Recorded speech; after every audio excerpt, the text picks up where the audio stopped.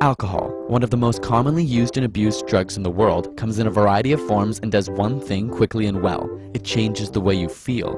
But to what do we owe these feelings of release and freedom? How could the ingestion of one simple substance so drastically change not only your actions, but thoughts and perception?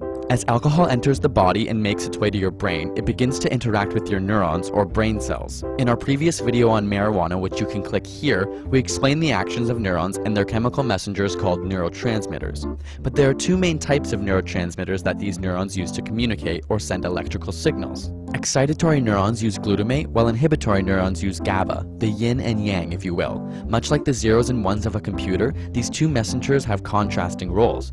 Glutamate begins a wave of excitation, while GABA not only inhibits this flow, but helps to organize and differentiate the results in your brain.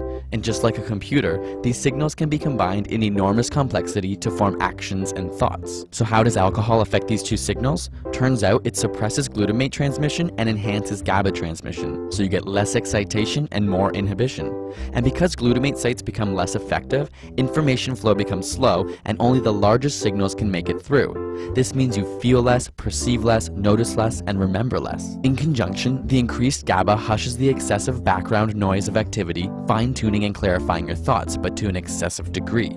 This is why you may have heard that alcohol is a depressant, but inhibition of your neurons is not the same as social inhibition. Instead, it simply cleans up and removes extraneous activity by removing less significant excitation. Without normal GABA transmission, the excessive excitatory action would resemble an epileptic seizure. There would be no clarity of thought. While drunk, your GABA channels are wide opened. Combined with the lack of glutamate, you begin to think very little, but with great clarity. It's what causes the momentous attitude of a drunk, often repeating the same idea or proclamation over and over thinking clearly about almost nothing.